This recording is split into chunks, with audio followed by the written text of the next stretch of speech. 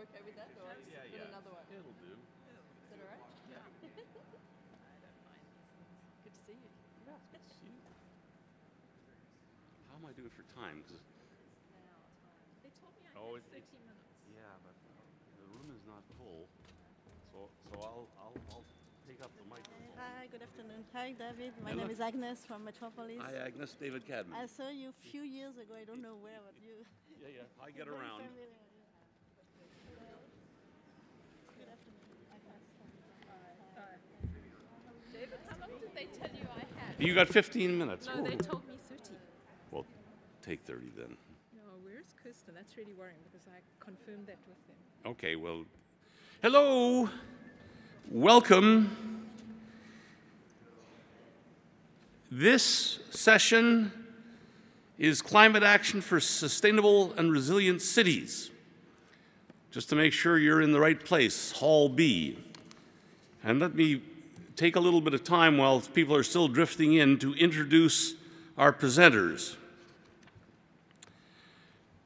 Uh, the first presenter will be Deborah Roberts, who is the, the Sustainable and Resilient City Initiative Unit in the Ethekwini District Municipality south, of Durban, South Africa, and manager of the Environment and Planning Protection Development in the city from 94 to 2016. She co chairs the IPCC's Working Group 2 on the sixth assessment and she was the lead author of Chapter 8, Urban Affairs, and contributing author to Chapter 12 on Africa and the IPCC's uh, Working Group 2 Fifth Assessment. And she's a, an advisor to the Global Commission on Adaptation. And because I know her and I told her I would embarrass her, I'm going to. Most of the people who are on the IPC are scientists full time. Not this woman. She has a city job that she does alongside of all the scientific assessment as well. So she's into, reading into the night all the papers that the scientists read just as part of their academic profession. So thank you for your work. Our second speaker will be uh, Kirstin Miller. Where is she? Is she in the hall? Good, come on up. She's the director of the Eco City Builders and has a focus, strong focus on citizen engagement and a toolbox of strategies and initiatives, including the Eco City framework and standards, the Encompass curriculum, uh, urban site, and the urban metabolic information systems. And she's on the steering committee of the World Summit, Summit Conference Series. The, we've got two of our uh, panelists who will respond afterwards. Uh, the first one that's up here is Cathy Oke, who is a councillor of the City of Melbourne, first Vice President of ICLEI Local Government for Sustainability, Senior Enterprise Fellow in Informed Cities, Connected Cities Lab, University of Melbourne, Australia, and Agnes Charlotte Bickart, who's with the World Association of Major Metropolis, Senior Manager Institutional Relations in Spain. And the third speaker who we need up here, please, is. Oh no, maybe. Yeah, uh, oh, yeah. Shi- Shirim Babu Maharjan, the mayor of Lalitpur Metropolitan City, Kathmandu Valley, Nepal. The Eco City Network of she set up the Eco City Network of Nepal. So I'm, there's been a bit of a misunderstanding in that people were told that certain people had only 15 minutes to speak. So I'm gonna, I'm gonna throw the rules out here and say to Deborah, take your half hour that you were told about, because that's what you planned for. Then Kirstin, are you okay with 15 minutes? Okay? And then each of the speakers for five minutes. So we may not get to as many questions here, but this is probably one of the most important presentations you're gonna hear. I've been using my Shakespeare to decide to say to be or not to be. The report that Deborah is going to present to you really puts that in the balance with what we have to do between now and 2030. Huge lifting. So, Deborah, come on up.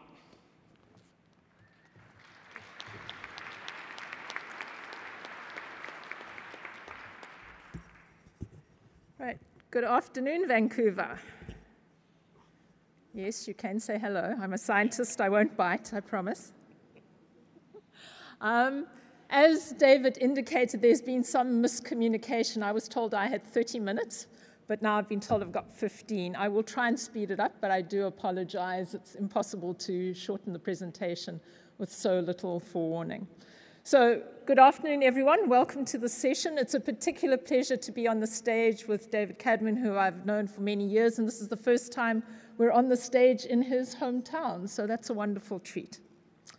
So, what am I going to be speaking to you about today? Well, I'm going to start off this particular presentation with a big question. Why are we all here? And that's less of an existential question than you might imagine. I would wager it's because the majority of people in this room believe that by doing something different in the world's cities, we can fundamentally change the global development path. And I suppose we then have to ask the follow on question well, what is that something different? And we've had some cues around that earlier this morning. And again, I would wager that for the majority of those, us, of those of us in this room, we believe that by pursuing eco-cities, so cities that take their cues from the structure and functioning of sustainable and resilient natural ecosystems, we can fundamentally create a different urban future and probably more importantly, a different urban presence. So that's the backbone of what I'll be talking to you about.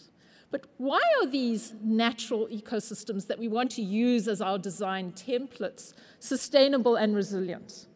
In many ways, it's because they are infinitely complex. They are fractal in nature. We can see the repetition of patterns at different scales. If we look at our own body, if we look at a tree, a coastline, a mountain range, even in the clouds in the sky.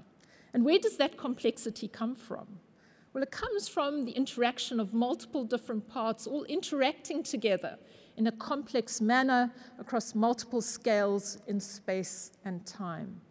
And the problem is when these complex systems begin to lose that complexity, they lose the ability to adapt to stress, they become less resilient.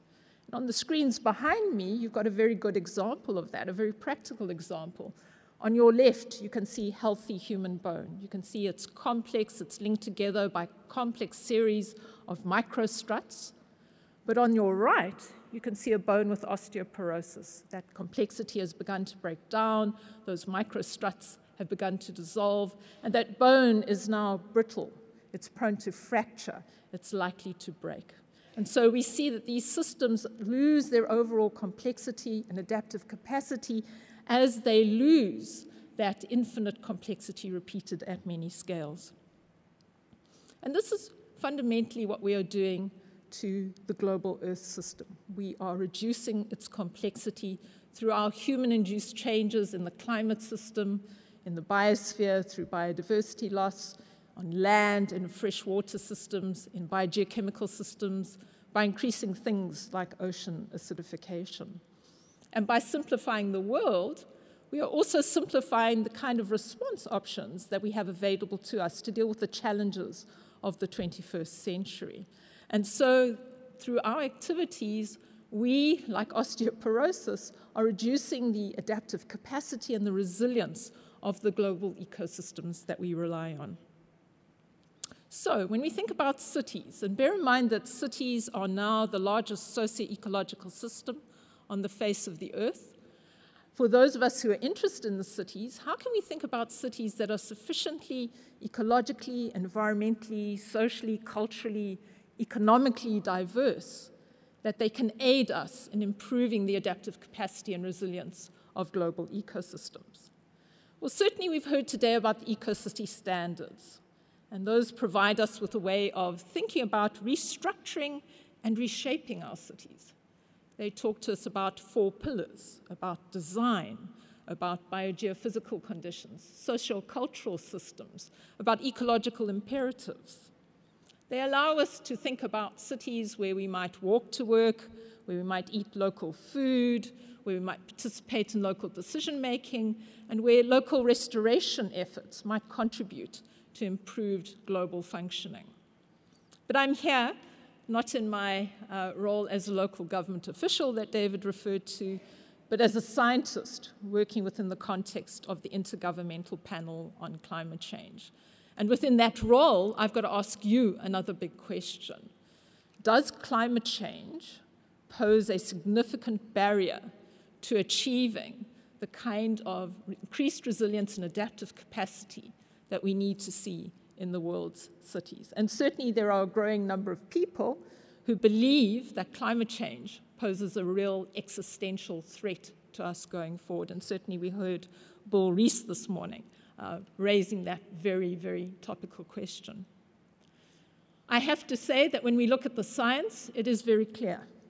There is no question that climate change poses a significant barrier to achieving a more sustainable urbanization path, to achieving eco-cities. So the real question then is how do we pursue this overall goal? Well, very usefully, we have access to the work by the Intergovernmental Panel on Climate Change, or IPCC, who's been around now for over 30 years as part of the UN family and the job of the IPCC is to provide policymakers and decision makers with an assessment of the scientific and technological literature so they can better understand not only the causes of climate change, but its impacts, and probably most importantly, its responses. And because of the link to the IPCC, we now have access to evidence based solution options that we can look at and interpret in our own context and determine which of these contexts um, are applicable and which of the solutions make sense in them to deal with the particular challenges of climate change. I want to talk about the special report on 1.5 degrees Celsius. In particular, I've heard this referred to both in the plenary session and the subsequent sessions I attended later on in the morning, because this is the special report produced by the IPCC in October, which speaks directly to the highest level of potential ambition we see in the global policy space. If you read the Paris Agreement, you'll see in Article 2 the commitment to keeping temperatures well below 2 degrees Celsius, but also this aligned level of ambition, which talks to us about also pursuing efforts to limit temperature increase to 1.5 degrees Celsius above pre industrial levels. And so I'll be calling out this particular report, but we'll also be talking about two other special reports that we've released during the last couple of weeks that on land and that on ocean and cryosphere, where these support the findings of the special report on 1.5 degrees Celsius as relates to cities. So, what does the report on 1.5 degrees Celsius that we've heard referred to so frequently already tell us about where we are now? Well, it tells us that since pre industrial times, and we regard that as being 1850 to 1900, our activities have already caused one degree of global warming. So that's in the bag. Climate change can no longer be avoided. And because of that, we're already seeing negative impacts on human communities, natural ecosystems, livelihoods, and economies around the world. At the current rate of emissions, we will reach this higher level of ambition, so the ability to limit global warming to 1.5 degrees Celsius, somewhere between 2030 and approximately 2050. So we do not have long to act. The important thing, which still gives us a sense of agency, is that past emissions alone do not yet commit us to a temperature increase of 1.5. So we still have the ability to act, we still have the ability to realize a vision of increased ambition in the world's cities around climate change. But what does this ambition look like? The 1.5 degree report gives us some sense of the scale of that ambition.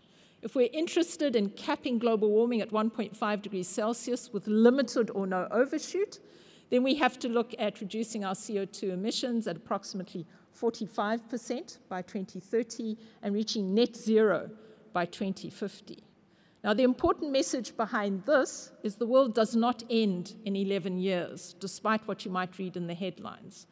What this says is, according to the illustrated pathways we looked at and the scenarios we used, this is the type of ambition that would be appropriate to 1.5.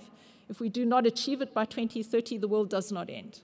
It does mean, however, that achieving that level of ambition becomes more difficult and more expensive and eventually comes out of our reach.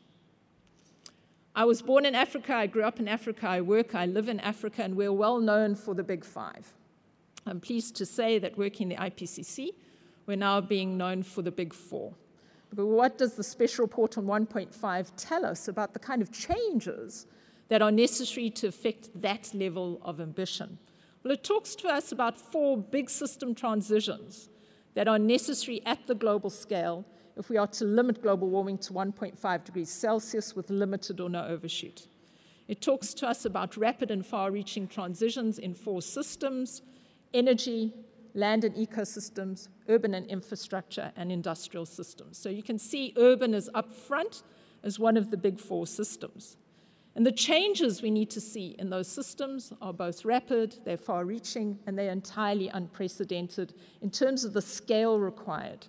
We've never seen anything like it in human history. It's also important because it calls for an all in solution.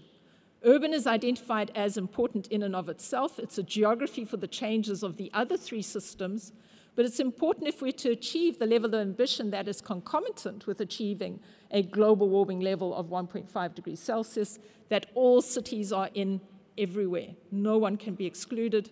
The 1.5 degree pathways require action in all cities and all urban contexts. So, why does the report call out cities as the center of enormous transformation? Well, it's because cities concentrate people and power and money. They concentrate economic activity, social networks, human resources, infrastructural investment.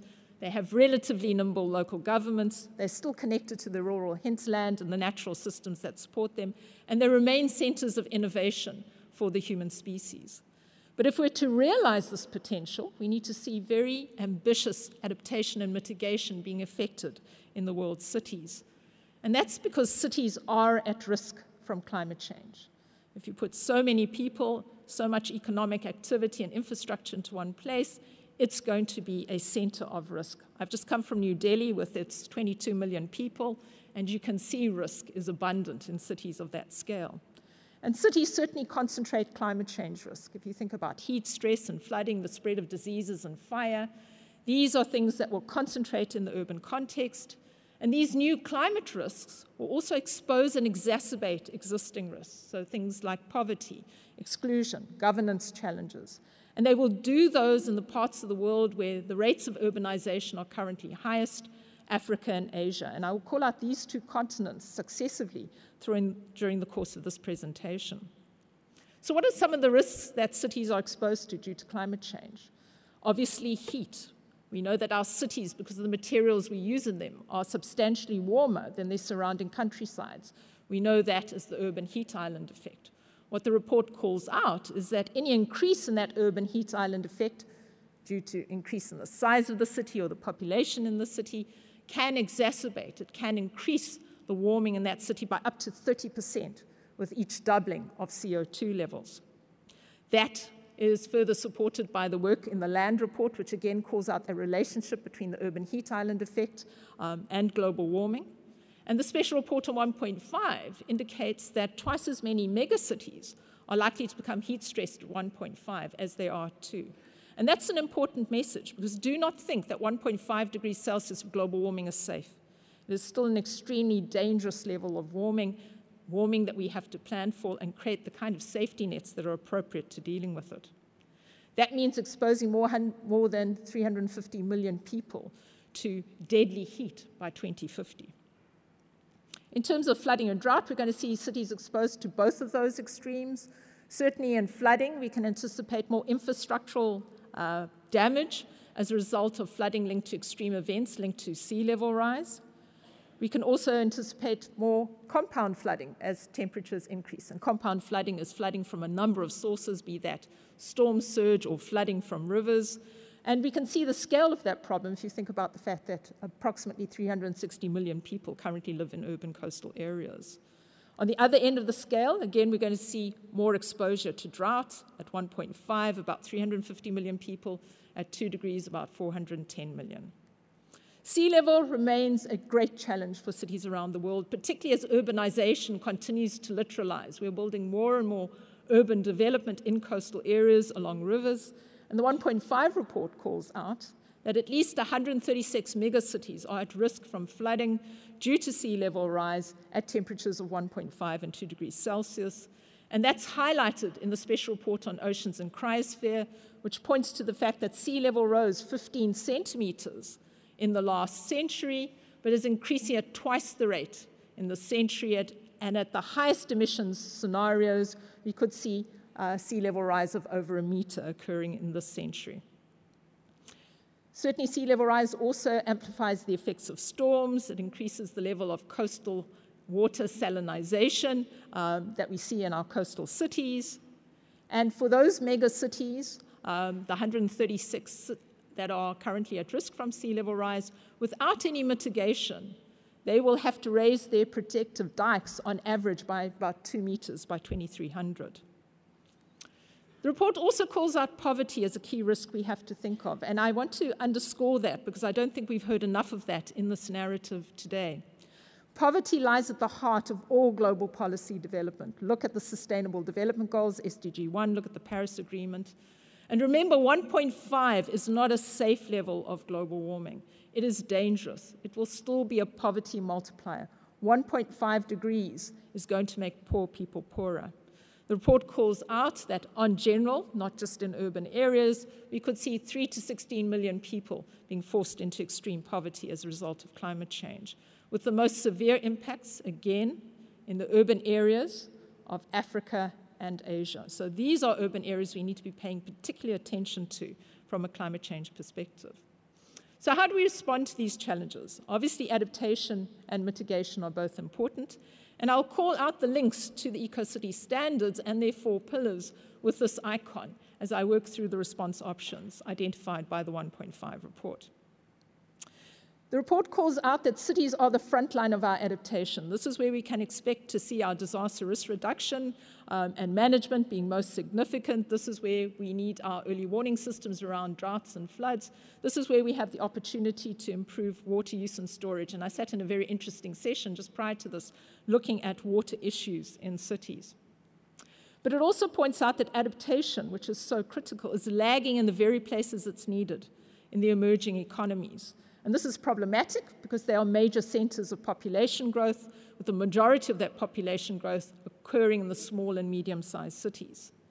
With some of the worst impacts, and again, this notes the fact that 1.5 is not a safe level of global warming for the poor urban dwellers in Africa. So, again, that call out on the African continent. But these are economies which face very complex and interrelated um, economic pressures and delivering on things like health, housing, and education. So, very hard to figure out how adaptation meaningfully fits into that spectrum. The report also calls out the usefulness of nature based solutions, of green urban infrastructure, of sustainable water use and management, it highlights green urban infrastructure as a way to increase the resilience of urban areas to the impacts of 1.5 degrees global warming. It points out that in some instances, this could also be cheaper than using conventional infrastructure. And the emphasis in nature based solutions is again reiterated in the Oceans Report and in the Land Report. It also calls out the usefulness of things like wastewater recycling, stormwater diversion in urban areas as key ways of meeting adaptation mitigation and development needs, but points out there are real challenges. Finance, we've always got a problem with money in cities, but governance problems. Because if you're thinking about nature based solutions, ecology knows no political boundaries. It often extends beyond the jurisdiction you may have, which creates governance challenges for us to deal with. Urban planning and land use are called out in the report as particularly important tools in the context of adaptation and mitigation. Obviously, by planning our city in a different way, we can reduce the level of risk exposure, we can improve overall adaptive capacity. Adaptation plans to things like flooding and sea level rise are very useful. But the report also underscores that literature indicates that we mustn't think about this as a linear process, that we must have a very broad vision when we undertake our planning. We must try and avoid the negative impacts on the poor. So if we have a community along a river which may be subject to increased flooding, one might think the common sense is to move the community away, but we might be moving them away from important social links, from important job opportunities. So this issue of justice and equity and broad participation are underscored in the report. In terms of mitigation, Urban economies are called out as being more energy intensive than their national equivalents because of our higher per capita income, consumption, and mobility. And again, that was illustrated in this morning's plenary. But this rising demand for electricity can also drive change. For example, the move to rooftop solar. And we also begin to see the decoupling from fossil fuels in the world's cities because of increased use of renewable energy, energy efficiency, and locally managed smart grids. The report also underscores the opportunity afforded to us by price changes. Renewable energy is becoming cheaper. It means we can have more access for people living in cities to clean, renewable energy. That has co benefits. Small scale distributed energy produced on residential or industrial rooftops allows consumers not only to have access to energy, but also to be producers of energy. Importantly, in informal settlements, the replacement of things like paraffin and charcoal also give us co-benefits in terms of improving air quality, reducing fire dangers, and reducing deforestation. So increases our overall adaptive capacity and demand for renewable energy. When we think about cities, the first thing you think about buildings, obviously, you can see this when you look at the Vancouver skyline, a really important sector. Buildings consume almost a third of global energy. And again, the report calls out that if we're to work towards that increased level of ambition at 1.5 degrees Celsius, the kind of reduction we would need to see in that sector is 80 to 90% by 2050, an enormous uh, and tall order for us to undertake. New construction would have to be fossil free and near zero energy by 2020, and that is literally next year. We can obviously achieve a reduction in emissions in our cities through improving embodied energy, so reducing the amount of embodied energy in our construction by using more bio based building materials, improving overall thermal performance and direct energy use. And we sit in a building which really illustrates what can be done in that regard. And by improving our energy efficiency um, and lighting in terms of our use of appliances and other installations. The report is very strong on underscoring the importance of technology as a catalyst for change, use of data. So it calls out smart technology, so things like the Internet of Things to help us improve efficiency in buildings and the city as a whole, and is indicating that in the global south, some cities are using these technologies to leapfrog their infrastructure and development to low carbon development straight away. And big data is called out as important in supporting decision making. Urban transport is probably the next thing you think about after you think about buildings in cities. And again, here we have to see a reduction in energy use by about 15% um, in order to achieve a 1.5 degree goal. That means we've got to change the structure and modus operandi of our system, of our cities. Walkable cities, non-motorized transport, and shorter commuter distances. Bike share schemes are already showing some lights of change. They're present in 800 cities globally, indicating that thought is being given to this kind of transition. The report underscores that we have to electrify all end use, and transport is no exception to that. We have to see the displacement of fossil fuel vehicles by 2035 to 2050 if we are to achieve the level of ambition required by limiting global warming to 1.5 degrees Celsius. ICT helps us again with things like car sharing, driverless vehicles, coordinated public transport. And in the part of the world I come from, transport oriented development is still important because we're seeing an increasing demand for cars on our roads. Overall, we get co benefits in terms of reduced air pollution, congestion, road traffic fatalities, and improved social cohesion. Again, urban planning and land use is called out as important to mitigation, an important way of reducing greenhouse gas emissions from the transport sector by about 20 to 50% as we make our cities more compact. And certainly, compact cities make public transport more financially viable. We also see an increase in energy savings as we increase the density in our cities, but where that's counter-adaptive is in informal settlements. If we increase density in our informal settlements, we could also increase health challenges. So we have to think about the informal sector as an area of particular challenge where we need to apply new thinking. So thinking about how we upgrade these areas to ensure that we get benefits and reduce the risks. So how do we ensure governance for action? Obviously, urban governance is important not only in achieving climate goals, but ensuring economic development and equity in all the decisions that we make. Local governments are particularly called out as powerful agents for climate action. And this urban governance is strengthened if we see scenarios where many people are around the table, where national governments support local governments, and where we have subnational networks supporting the work of local governments and sharing best practice. But again, the report calls out the problems of informal settlements. Governance is different in the informal sector, and they don't automatically fit into the formal governance systems. And these are things we need to think about as we work, particularly in the cities of the global south. And certainly, informality was called out as one of the big areas needing research when we look at cities and climate change science.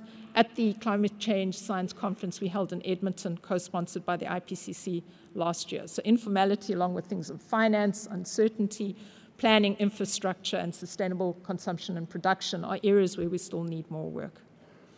And so, the bottom line message from this report is we need an entirely different approach to infrastructure development in the cities of the global south as we build them out over the next three decades.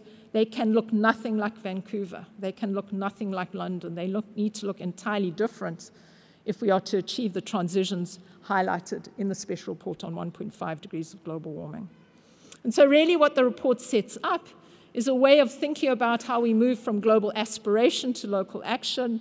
Certainly, we need science. I've heard everyone refer to the need for science. The IPCC provides that kind of science. We have policy informed by that science in terms of the Paris Agreement and the SDGs, but where we're most lacking is in terms of practice. And I think that's where the EcoCity standards can help us move those aspirational scientific and policy goals into real practice. And hopefully, with that, we get the complex, resilient, diverse, and sustainable cities we need to change the global development path. Thanks very much.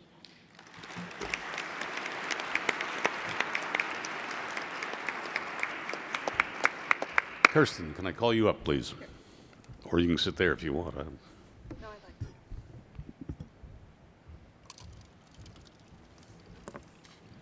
Thank you, Deborah. I'm going to jump right in. Um, so, at Eco City Builders, we have an adage that you may have already heard a few times so far uh, during this event as we build, so shall we live. So, quality of life for humans and for nature are inextricably linked. We are a part of nature, as well as shapers of natural systems, and now on a planetary scale, as we've just heard. So, the Eco City model gives us a way forward it's feasible, practical, and doable. Just popping in on some of these sessions, I can assuredly say that if all of us were in charge of the cities, all of us here in this room, we could definitely get it done. the knowledge is already here. So the eco city is right in front of us, but at the same time, it's still miles away. And this is why we gather at events like this to share our knowledge in order to accelerate act, action and change. We define an eco-city as a human settlement modeled on the self-sustaining, resilient structure and function of natural ecosystems and living organisms. So in natural ecosystems, the more niches that are filled, the more efficiently the system runs, and the richer it is in supporting life.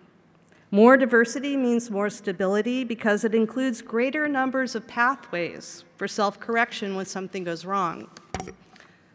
Similarly, in human settlements, the more niches that are filled, the richer the city is in supporting a vibrant and resilient urban environment. And this was one of the key insights of the urbanist Jane Jacobs. From an eco-city perspective, the key to a healthy urban ecology is to ensure that the forces that shape a city are grounded in environmentally and socially healthy systems, and that the people living in the city are likewise grounded in principles and practices of eco citizenship. Through this lens of city as ecosystem, we've developed, together with an international advisory committee and guided by our partners at the British Columbia Institute of Technology, the International EcoCity Framework and Standards, which I know you've been hearing about over the past few days.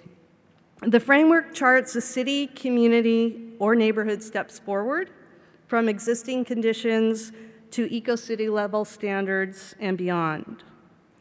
The framework is universally applicable and locally adaptable.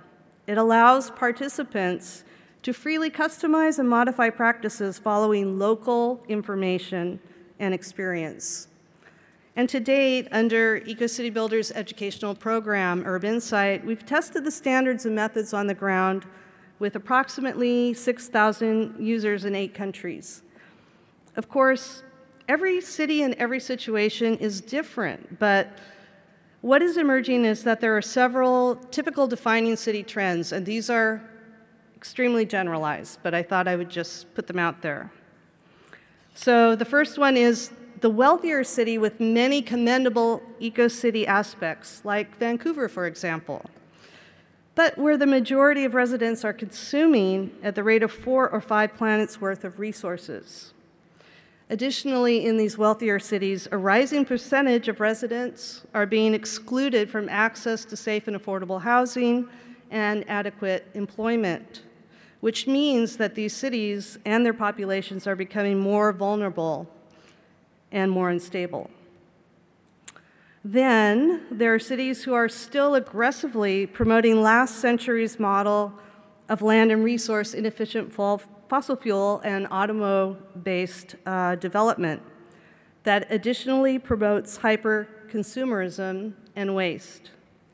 These places are extremely vulnerable to shocks and stresses, as they typically do not have backup systems or redundancies in place.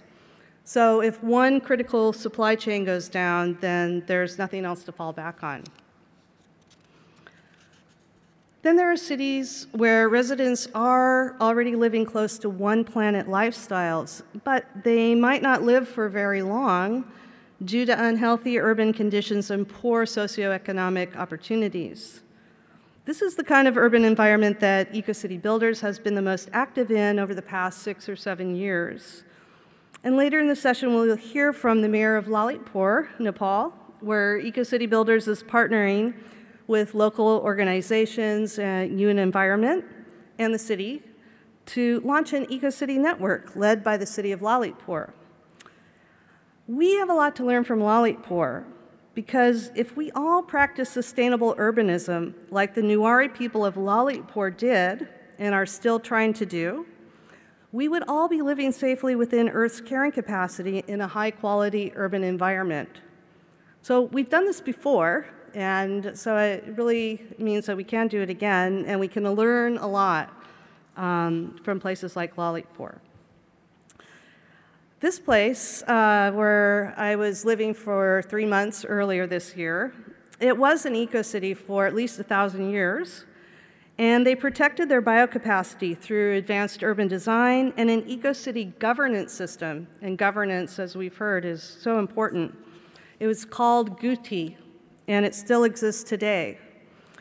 Um, in Lalitpur, the Newari people, they're trying to hold on to their sustainable urban traditions while rebuilding after a devastating earthquake in 2015. Protecting their biocapacity is very much of a struggle now. While even as climate change ramps up, neighboring countries are pressuring them to sell off their natural resources, primarily their water and hydropower. But this kind of resource acquisition is not at all unique to Nepal. Productive bioregions and specialized economies all around the world are being sold to the highest bidders. So just because a city is near a productive watershed, they may not legally have access to that water or that energy supply. That's why, from an EcoCity perspective, it is so important for cities and citizens to understand where their resources are coming from and to be advocates for local and regional policies and localized sustainable development that additionally protects biocapacity. Clearly understanding city systems in this way underpins the work that EcoCity Builders does today. For a transdisciplinary systems view of what is going on at a city level, one of my favorite EcoCity diagnostic tools is the Urban Metabolic Information System, pioneered by Sebastian Moffatt and further developed into a visualization tool with the help of Philip Mansfield. Sebastian and Philip are both British Columbians, by the way. The function of the Urban Metabolic Information System is to illustrate urban resource flows, their directions and quantities.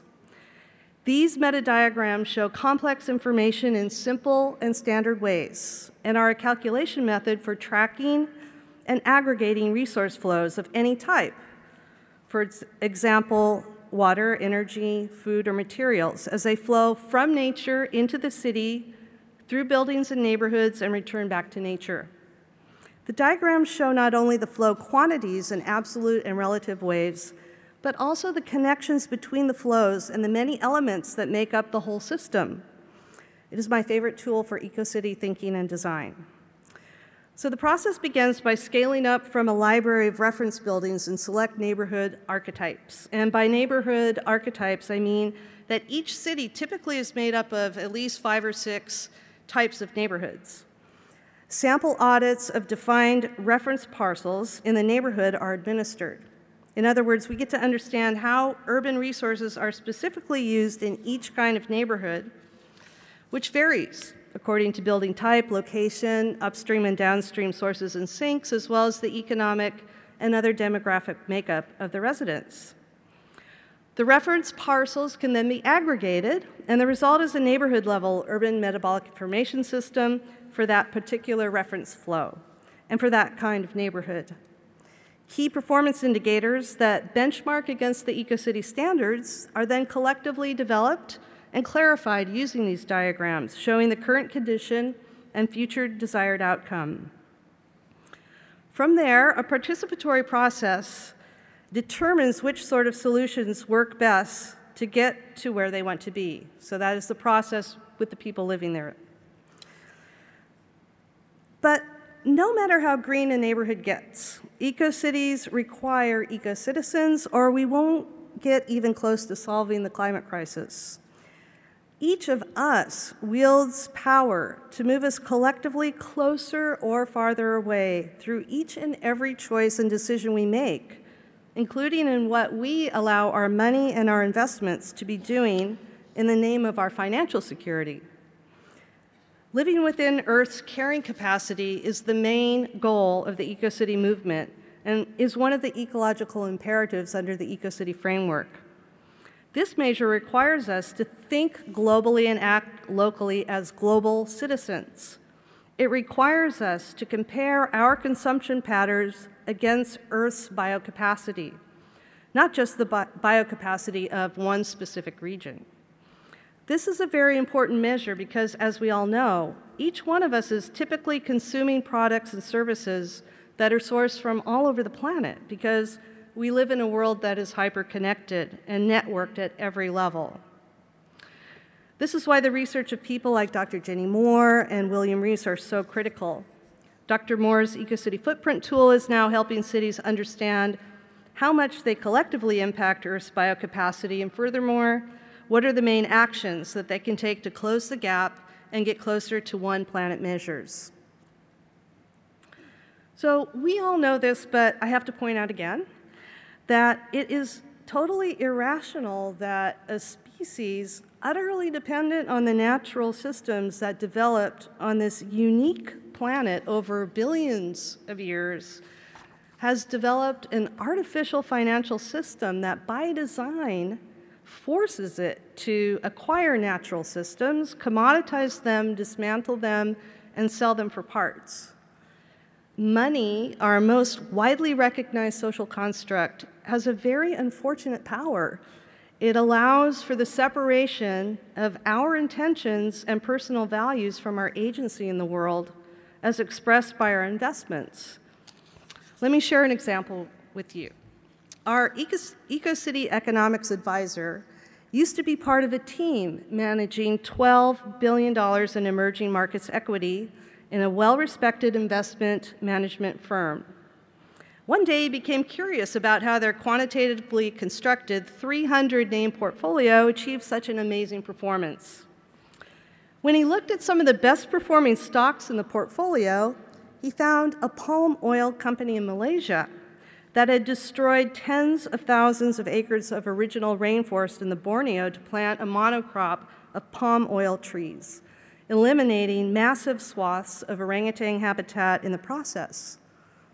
Ironically, part of this company stock performance was predicated on obtaining carbon credits for planting the palm trees that were replacing the original rainforest habitat they'd ripped away. And even more ironically, one of his clients invested in the portfolio was a well known environmental foundation trying to protect the orangutan habitat. So the cognitive dissonance was too loud for him to ignore. He left his glamorous job and began realigning his entire life to align with his values. He's now living as an eco citizen both in his daily actions and through his investments. And he's teaching others how to become 100% impact investors, individuals who are making sure that their personal investments align with their values. Some organizations, like the investor network Toniic, based in California, are starting to collect data on people like our advisor who are aligning their personal investments to support the Sustainable Development Goals. Interestingly and hopefully, a high percentage of these investors are putting their capital to work supporting Goal 11 Make Cities Sustainable. I'd like to leave you with yet uh, one more proposed geologic term the Ecozoic era. This term was coined in 2010 by the late philosopher theologian Thomas Berry. The etymology of Ecozoic is eco, derived from the Greek oikos, meaning house, household, or home, and zoic from zoikos, meaning pertaining to living beings. Thus, Ecozoic era is defined as the era of the house of living beings. By using the term Ecozoic era, we are being invited to have a personal relationship with the formation of the Anthropocene, the current geologic epoch that dates from the onset of significant human impact on Earth's geology and ecosystems, including anthropogenic climate change. After all, we live in a self made world. While the earth and the universe are the original sources of creativity, it is we who invent the words, concepts, and the tools. To shape and influence the deep future towards the ecozoic, we need to help each other build eco-cities and the eco-city movement. It's going to be a struggle. There's no getting out of that, but I hope you will agree with me that this is an invigorating, life affirming struggle, and that through the process, we're all becoming stronger, more focused, and more determined to reach our destination. Thanks.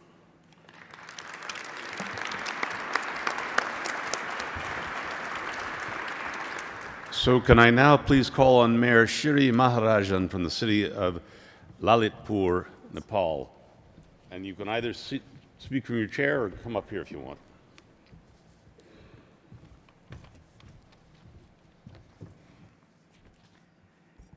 Thank you. Good afternoon to all of you. I represent Lalitpur Metropolitan City. This is one of the oldest city of one of the oldest cities of Nepal, and this is adjacent to the capital city of Kathmandu. Once I arrived here in uh, Vancouver, I'm really got mad. Wherever I see, everything is beautiful, very nice, very well arranged. Therefore, whatever slides I, pre- I uh, prepared in my hometown Kathmandu before I come here, I decided to change a little bit in order to learn what Vancouver has achieved. Because Eco City in Nepal, it's almost a new concept, and we haven't done nothing. But however, my city, Lalitpur, is fine art city, and it's a well-planned city long time back. Every three minutes walking distance, you will find a nice courtyard facing towards the south. And every five, six minutes walking distance, you will find the natural water spouts where we drink water. So this is the smart eco city of my ancient city, Lalitpur.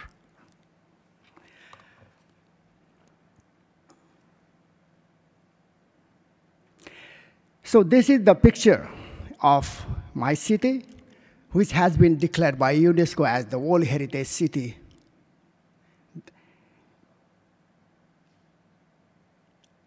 And uh, this city is almost 1600 years old, but it was very good until early 1950s. Thereafter, a lot of development activities took place. That was taken as rampantly. Therefore, it is gone from bad to worse. Okay, now I have categorized my presentation in three ways. Right after I saw the beautiful Vancouver city. Okay, so here the water management is excellently done. Therefore, I presented my slide starting from the rain god. This is we call Machindranath, and this is we regard as rain god. The, it's the chariot festival. So once we start this chariot festival, then we get rain in the country. So this is one of the ponds, very, very old pond, which was damaged extensively by the devastating earthquake of April 2015, which we repaired very recently. And few more ponds, which we have, one on the left already finished, one on the right, its uh, construction is going on. And this one is our future project, which we are going to execute very soon. So in, in Lalitpur, we got at least 20 of this type of big ponds, which are historically very much important. Okay, once we get water in the pond, then this is a picture of natural water spout. Once we get water in the ponds, then this type of natural water spouts get water, which is the main source of potable water of my citizens. And we got 60 of these water spouts, but due to the water table degrading, going down, almost more than 75% of these natural water spouts are not working properly. But we get water during monsoon time. So this is one of the challenges that I'm facing being the mayor of Lalitpur Metropolitan City, that I have to revive, if possible, all of those, if not, at least few of those that I'm endeavoring in order to bring those into business. Okay, this is an ancient stone water spout located in the historical Darbar Square of Patan. Okay, now uh, there are so many steps we are working currently in order to make it eco-city. So Lalitpur Metropolitan City in Nepal is the one which has already adopted the building codes. That is why April 2015 earthquake did not damage too much in my city. So next thing is we are constructing bicycle lane. All of you will definitely surprise that this is the first project I'm going to undertake in my country. First time. So we are going to make some uh, bicycle lanes this, this year, which will again be extended to the neighboring municipalities.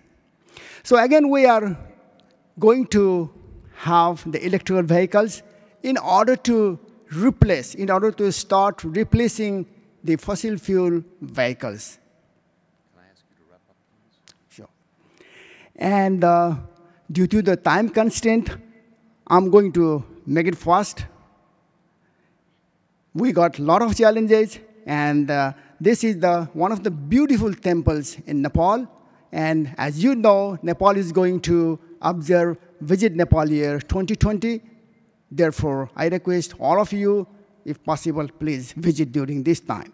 And we are endeavoring some of the bicycle lane uh, projects, like as already said, and we are constructing some bicycle stands here and there.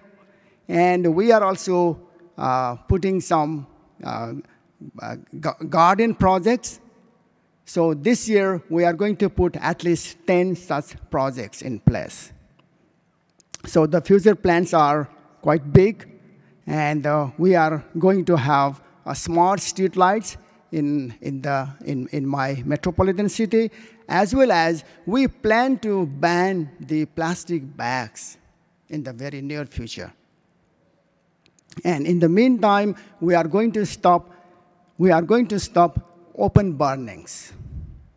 So this is, th these are two pictures that of that we arranged a bicycle rally in 2019. So there were at least 2,000 participants who took part. So we are trying to encourage bicyclists from nine different angles.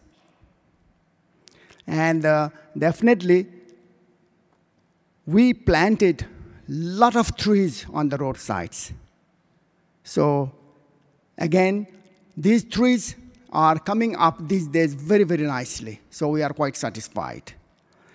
And one of the projects that we have started is, of course, Kathmandu Valley doesn't have adequate line, adequate public line, but we need greenery.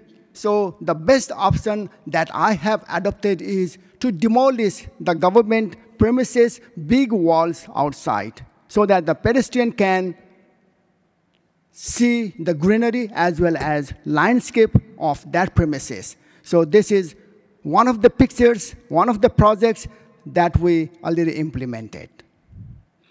Okay, thank you very much. This is what we are doing in Lalitpur. Thank you. Capio. Uh, thank you, David. Um, I think I've got some slides here, and we have, I've got a short amount of time to get through what I'd like to speak to, but I was very glad to host your city colleagues at the City of Melbourne recently, and we've got so much to learn from what you're doing in your city, so I will certainly spend more time with you after, after this session. Um, so I've got a short amount of time, and I really just wanted to emphasise a couple of the points that um, especially our two keynote speakers, Deb and, and Kirstin, have, have already um, mentioned, especially emphasising this need to really better connect policy, practice and research if we're wanting to accelerate sustainability in our cities. And obviously I come to this with multiple hats, and so I've got multiple perspectives, not only as a city leader, but also um, in, in academia as well. And, and when I talk about um, connecting policy, practice and research, I'm certainly talking a lot more about better connecting the wealth of knowledge and ambition that cities have around climate action, but also, and this is one representative group of underheard voices, but First Nation voices in particular, that we need to do a lot better in understanding the wealth of knowledge that come from these communities if we're wanting to actually excel, accelerate change in our cities. And again, I don't have much time, so I wanted to show two examples examples of what I'm talking about here. Um, when I talk about First Nations knowledge, in Australia, we have the longest living culture anywhere in the world. There's 60,000 years or more of knowledge around sustainability and resilience.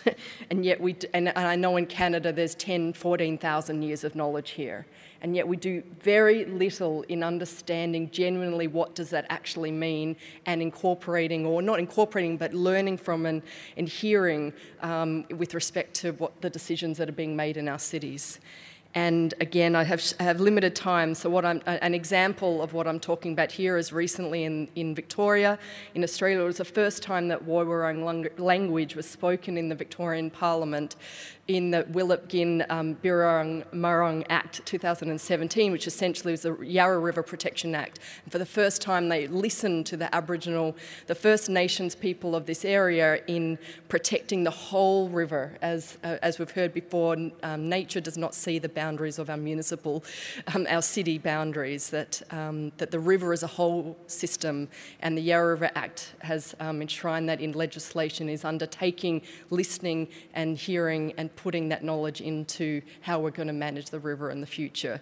And so that is an important example of how we can learn from Aboriginal practice from so many years in how we understand and manage natural systems within our cities. And um, the second example I wanted to show again in my short term is, is leading on from a lot of what Deb was talking about is linking the science that is there to the city leaders and city decision makers a lot better than we do at the moment. And a great example of this is the summary for urban policy makers that the IPCC report, uh, authors um, did recently. This was released at the end of last year.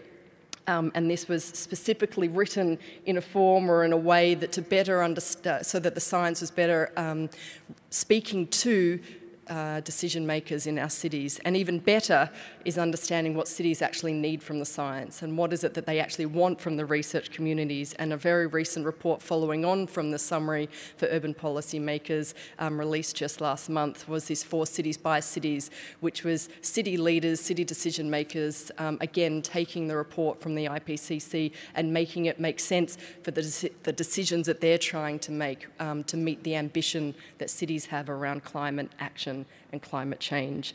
And I think that that is really what we must we as a research community must be doing a lot more of in actually listening to and understanding what cities actually need from the science and from research and collaborating better and, and working together on projects. I see too many research projects um, and, in, and decisions being made for cities without actually talking to cities or working with cities, and so that the outcomes are actually relevant on the ground. And we need to do a lot better um, with that. And the EcoCity standards and the EcoCity um, summit and a lot of the conversations that we're hearing um, over these few days are really showing great examples of what it is that I'm saying we need more of.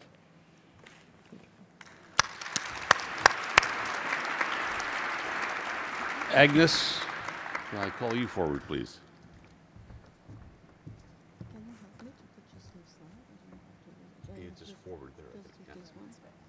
Oh, it's backwards, sorry. No, you go the green one.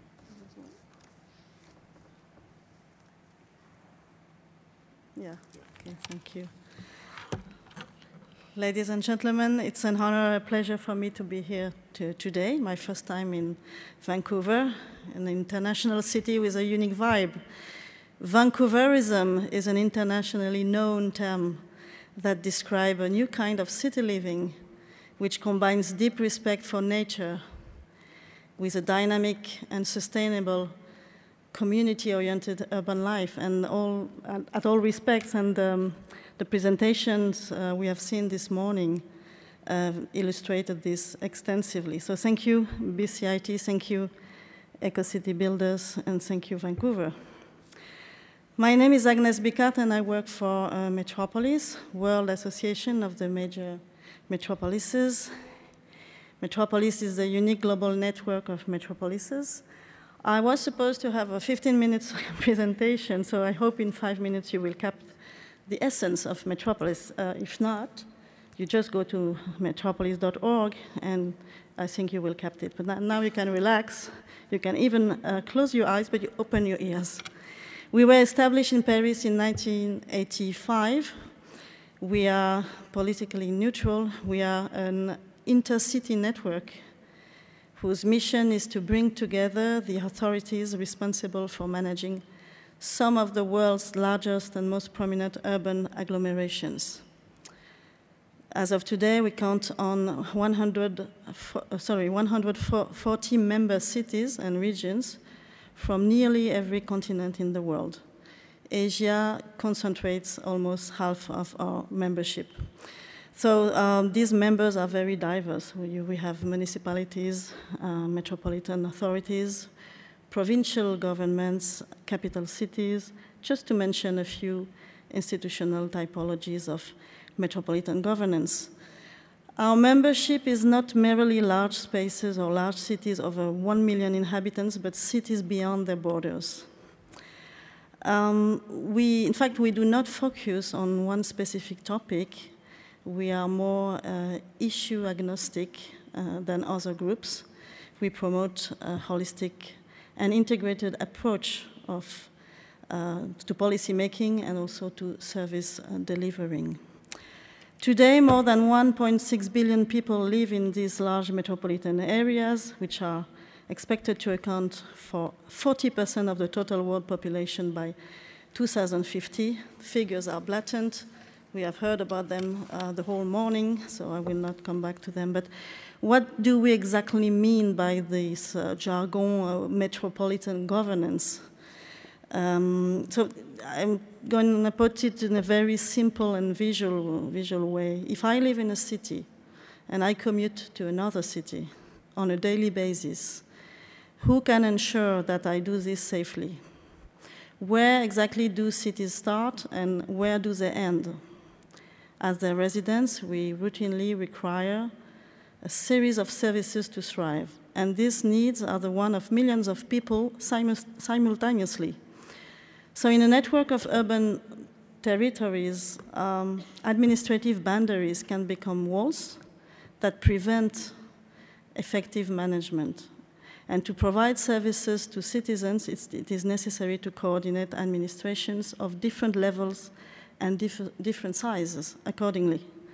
The many barriers to a sound management of large urban agglomerations, these barriers must be overcome. So we must find creative solutions that guarantee a good quality of life for everyone living the, uh, uh, so sorry, for everyone living in, in, in the major metropolises.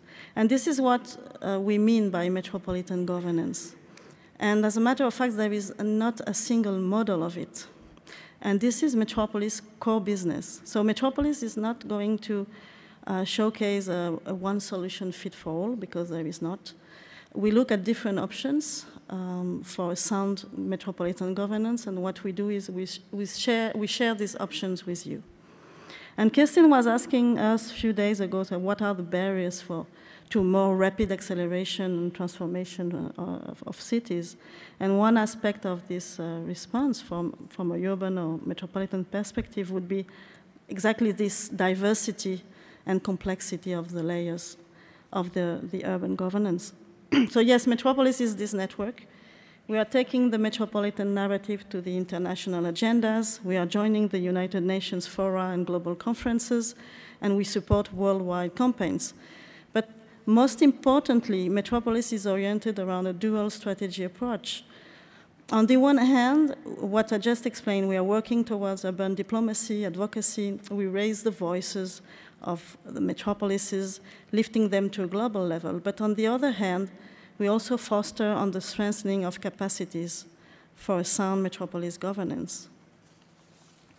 So when a city becomes a member of Metropolis, uh, he, its mayor or its mayoress, I don't know how you call it, um, commits herself or commits himself to comprise and nurture a robust and coherent knowledge sharing hub and it goes beyond the boundaries of simple data collection because we facilitate a platform where knowledge is exchanged, systemized, and capitalized to its full potential.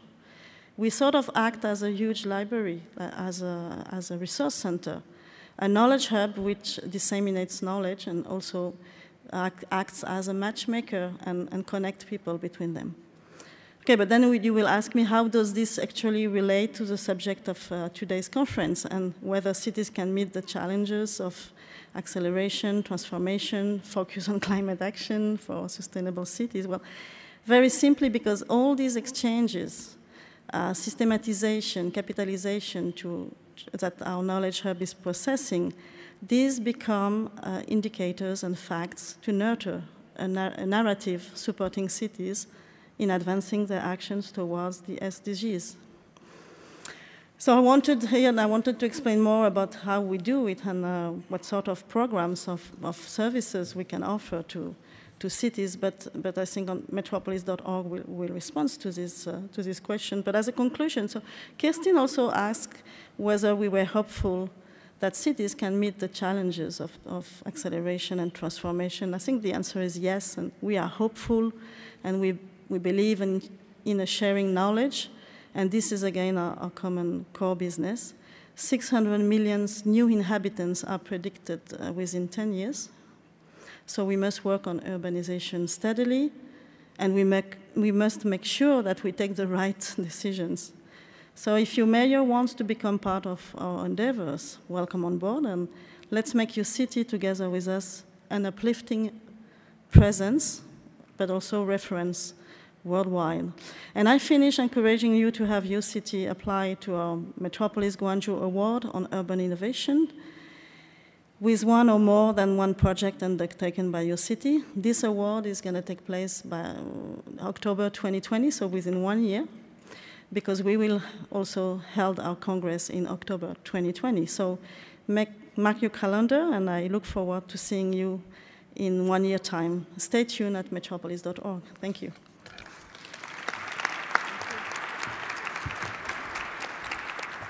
So, on your behalf, I want to thank our five presenters. I want to apologize that we couldn't get to questions, but I think hearing the nature of the presentations, uh, you benefited probably more by that. Uh, there's a refreshment break in the exhibit hall, which is just to your right as you go out, and I've been asked to ask you to participate in the EcoCity Sustainability Trivia on the mobile app. So thank you all for your attendance. My apology that we've gone over time. I think you find it's worth it. Thank you again to our five presenters.